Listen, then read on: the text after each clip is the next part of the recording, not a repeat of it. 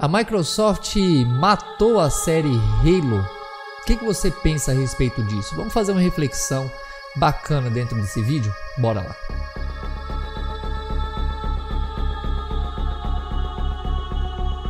Salve rapaziada gamer, galera do YouTube que me acompanha aqui pelo meu canal Roberto in the Game. Um prazer estar aqui com vocês mais uma vez. Quero agradecer demais a companhia de vocês, o apoio que vocês têm me dado, muitos se tornando membros do canal, outros compartilhando os vídeos, deixando like, comentários.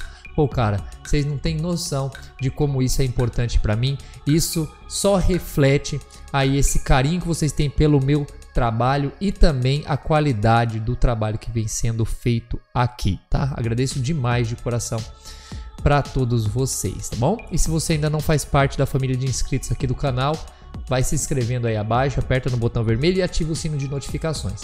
Pessoal, venho aqui fazer um breve vídeo para vocês para expor um pouco da minha, entre aspas, revolta, né? Porque quando se fala revolta é uma palavra meio forte, parece que eu tô revoltado, não sei o blá mas é só uma reflexão, uma liberdade de expressão que eu quero fazer aqui para vocês nesse vídeo.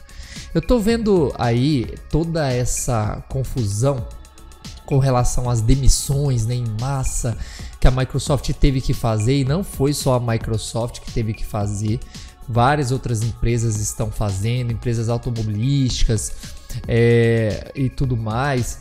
E a Microsoft também fez em vários setores essas demissões e afetou aí grande parte de, de, de alguns desenvolvedores, inclusive a Decolitium, que é um desenvolvedor de Gears, que não tem nada a ver com Halo, digamos assim. E obviamente isso chegou na, na 343, que a gente sabe que tem aquela polêmica em cima por causa do Halo, que não, obviamente, não superou e nem chegou perto de igualar a expectativa que a gente tinha com relação ao game, ao Halo Infinite de 2021. Obviamente que o jogo poderia ter vindo muito melhor. Eu não acredito que o jogo seja um fracasso, que foi um fracasso, que fracassou, que flopou. Não acredito nisso. Não vejo isso no jogo. Mas eu acredito que ficou muito abaixo da qualidade que nós esperávamos para um jogo da franquia Halo que nos seus primeiros games tiravam notas acima de 95. O primeiro Halo, o Combat Involved, se eu não me engano é assim o nome, é, tirou nota 97. É o jogo de nota mais alta entre os jogos de tiro em primeira pessoa, junto com Perfect Dark, entre outros games aí. Cara, então assim, é uma série que merecia um pouco mais de atenção. Infelizmente, a 343 não ofereceu essa atenção necessária e o jogo acabou vindo, como eu disse, bem abaixo do esperado. E o fato de chegar essas demissões também na 343, porque é reflexo de tudo que está acontecendo no mundo, dentro e fora da Microsoft, em vários setores dentro da Microsoft ali também, obviamente que vai chegar na 343. E aí quando chega na 343 o pessoal, ai, que não sei o que, porque flopou o Halo, porque não sei o que, e aí começa aquela coisa toda, usando dessas demissões que estão acontecendo, não por causa do Halo Infinite, mas é uma demissão em massa por causa da crise global que acabou chegando dentro da Microsoft e automaticamente chegando na 343, que é desenvolvedora do Halo Infinite. Então eu espero que vocês tenham entendido essa primeira parte né, que não é a, o Halo Infinite que causou a crise global, mas a crise global causou uma demissão em massa em várias empresas, inclusive na Microsoft, em vários setores dentro da Microsoft, que chegou na 343, que é desenvolvedora do Halo Infinite. E outra coisa, eu tenho visto muito fanboy, eu não gosto de atitude fanboy, vocês sabem, é, eu acabo me incomodando um pouco com certos comentários. Né, do outro lado, né, do lado azul. Vocês sabem que aqui eu não faço Flame, não, não gosto de hatear nem nada. Inclusive falo de PlayStation aqui no meu canal, tinha um PlayStation 5 e tudo mais.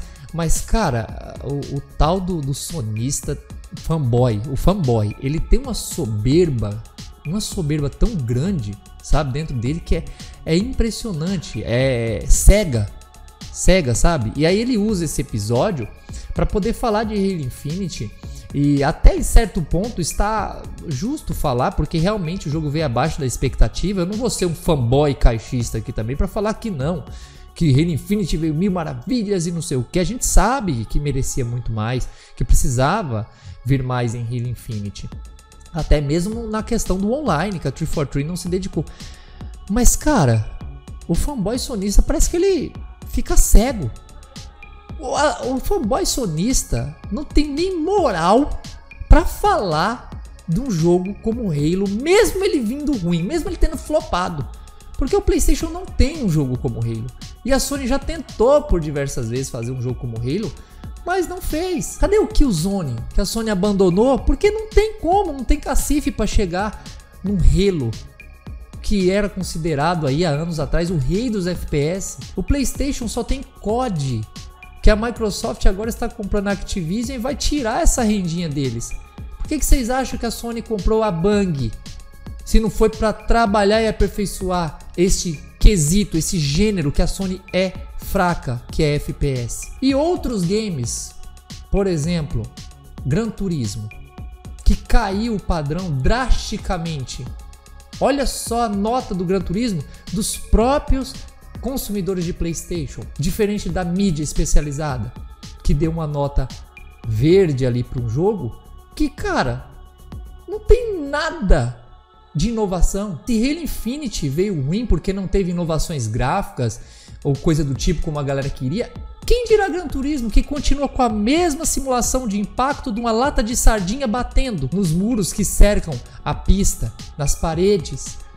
Cara, vocês estão cegos? Vocês não conseguem ver que a Sony também, assim como a Microsoft, tem problema dentro de suas franquias, é por isso que eu falo, pessoal, não sejam fanboys, nem de Sony, nem de Xbox. E é fato, Halo está passando por momentos difíceis e delicados, assim como séries da Sony já passaram por problemas e retomaram e fizeram sucesso ou até mesmo faliram. Será que para tudo na vida a gente tem que dar uma de Loki?